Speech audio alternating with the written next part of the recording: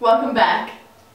Blackwood House is a place of knowledge and wisdom, and there is no greater suppository of wisdom than our mate Craig.